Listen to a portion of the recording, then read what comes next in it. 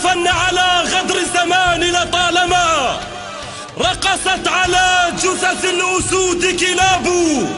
ما قصدها تعلو على أسيادها.